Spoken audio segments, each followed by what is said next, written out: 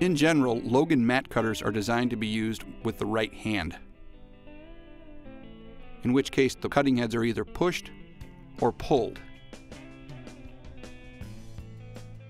When cutting right-handed with a push-style mat cutter, the right hand is placed on the cutting head and the cutting head is pushed away.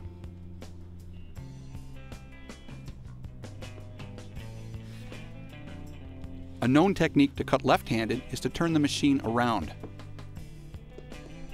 Insert the mat board, hook the cutting head on the rail,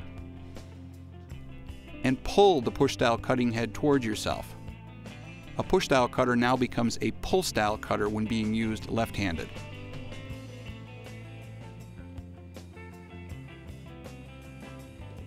To operate a pull-style cutting head with your right hand, the cutting head hooks onto the rail, you rotate the blade in and pull the cutting head toward yourself.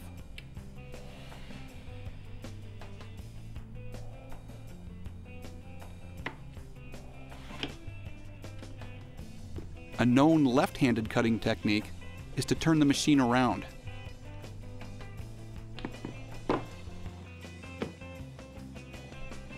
With the mat board inserted into the machine, the pull-style cutting head is hooked onto the rail and is pushed away with the left hand. In this instance, a pull-style cutting head is being pushed away with the left hand.